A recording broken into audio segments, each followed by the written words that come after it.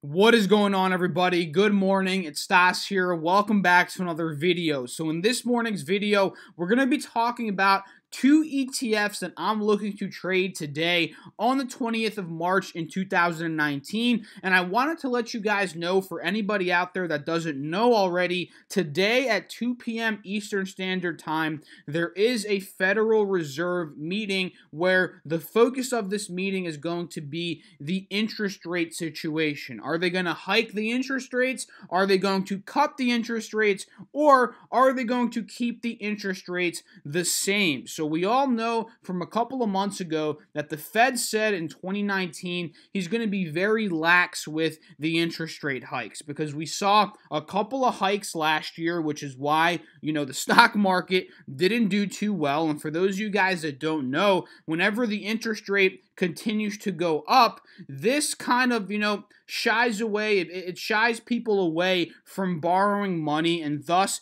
the economy isn't stimulated, right? When people want to borrow money, they like borrowing with lower interest rates, right? Which is why a couple of years ago, when the interest rate was zero and it was a very small interest rate, that's when the economy was seeing crazy growth. The stock market was rising because when the interest rates are zero, very, very minimal, right? This stimulates the economy. People are more eager, or they're more willing, rather, to go out, take that loan, take this loan, this loan, and borrow more money to stimulate the economy, right? Because the interest rates are lower. But again, you know, as interest rates continue to push up, they continue to push up. This weighs down on the economy. This weighs down on the stock market, and thus people aren't willing, or they're less willing, rather, to borrow money. So, like I said, guys, we are expected to see a less less hikes this year of 2019, which is why I personally think that we're not going to see any hikes. We're not going to see any cuts today. But who knows, guys? I might be wrong. Let's see what ends up happening today, 2 p.m. Eastern Standard Time. And let's say hypothetically we do get a rate hike.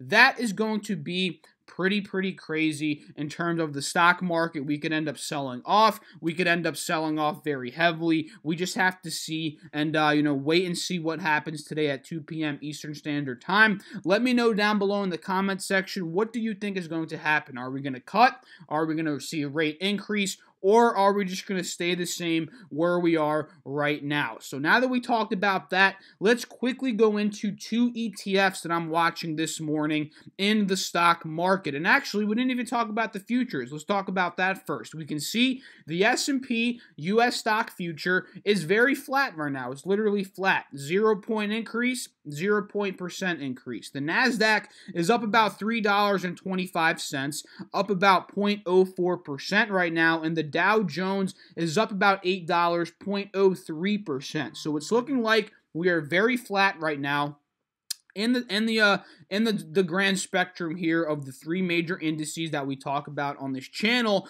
And now that we got that out of the way let's talk about two ETFs that I'm watching here. So for all you guys that watched my video yesterday the afternoon video and the morning video we were talking about crude oil and UWT UWT is an inverse ETF it's a leveraged ETF that trades based upon crude oil. Whenever UWT is going up in price crude oil is going up in price, and obviously, when crude oil is going up in price, UWT is going up in price, right? So, we were talking about in yesterday's video how crude oil was very overextended, right? It was already at about $59.85. It was hovering in the middle of this new channel that we're trading in between $57.75 and around $61, right? This was the old resistance. We broke above it, making it a new support with the intentions of trading up to the next resistance at about $61. And again, in yesterday's video, we were hovering in the middle of this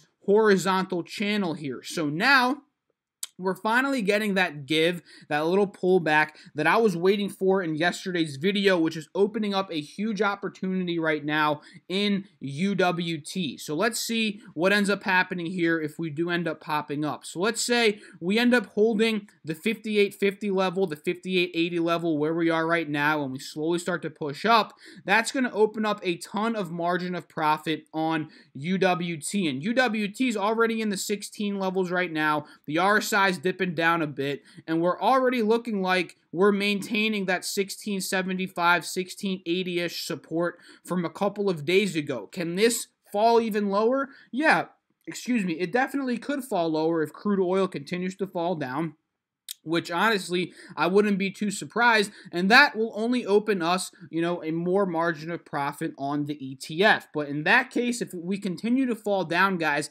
we need to see a clear-cut reversal on crude oil to the upside before trading, you know, the UWT ETF. And how am I going to see a clear-cut reversal? Well, let's hop here to the five-day, five-minute, and we'll see exactly. Actually, the one-day, one-minute probably paints it easier, right? We can see this is what I want to see for a clear cut reversal. What we're seeing right now, we notice how over the past couple of hours throughout the entire night, we saw that big pullback with the 50 SMA and the 180 SMA acting as resistances. Now, we got that double bottom, which is a reversal pattern to the upside. We could expect more bullish action in a stock ETF that sees a double bottom. And now we're breaking out of the resistance that we were trading below the entire night, right? This is a sign that we're reversing to the upside. So the fact that we're seeing this on the one day, one minute you know, this is a good sign that we want to start to push back up in crude oil, giving us a lot of opportunity in UWT. So if I were you and what I'm personally doing, again, don't trade this,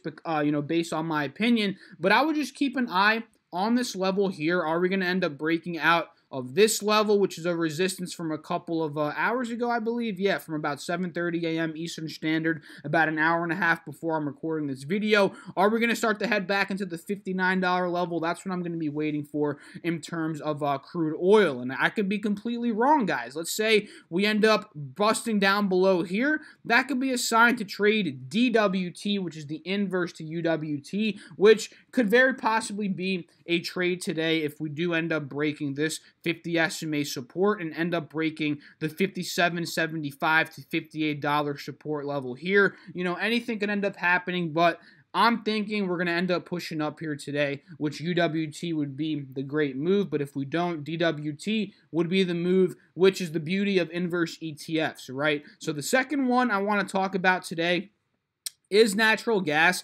and natural gas now is in a very funky spot, right? We notice how, and we talked about this in the previous couple of videos, we notice how yesterday we topped off at the resistance at about 290, which has been a resistance over the past couple of trading weeks, right? We can notice it here. We topped off back on the 5th of March. We topped off here at the 8th on the 8th of March. We headed down, and now we just topped there about yesterday at about 290 and now we're heading back down um, you know in terms of natural gas. So i guess you can say now with 100% certainty that the resistance the rejection is confirmed right? And we ended up breaking below this level at about 285 that i was watching for to see if it was going to hold above which is another sign that we're heading down in price in terms of natural gas. And let me show you guys why. We can see this was a resistance a couple of weeks ago. It was a resistance a couple of days ago ago. And the fact that we broke out of that resistance, we broke to the bottom of it. Well, actually, no, let me rephrase that. This was a resistance, right?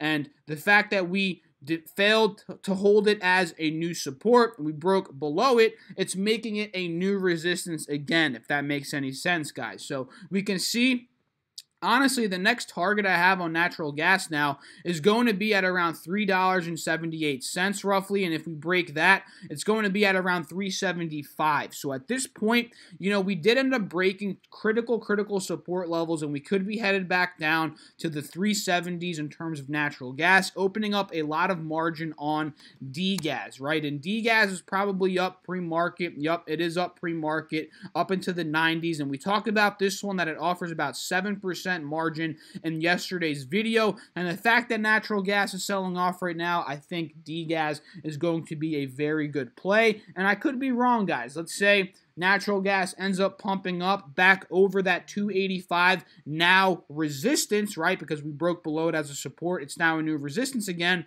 This could be a play for you guys if natural gas ends up filling back up to 290. So this is the beauty of ETFs, right? You can follow the future and really decipher what you want to trade based on the pattern that you're seeing on the future. So that's it for this morning's video, guys. Very quick, simple. Just keep an eye on the Fed meeting. That's the most important thing in today's video, honestly. And just keep an eye on these two ETF combos. They're going to be very good plays today, in my personal opinion. Again, do your own research. Don't trade these based on my opinion, guys, because you want to become a self-sufficient trader here in the stock market so you can do this stuff on your own. So I hope you guys enjoyed the video. If you did, feel free to hit that like button, drop a comment down below. Let me know what you guys think about all of this different stuff. Subscribe to the channel if you're new. Hit that notification bell if you want to be notified every time that I do make a video. I'll catch you all in the video later today. Hopefully the Fed meeting goes well. We'll talk about it later today, and I'm sure we'll talk about it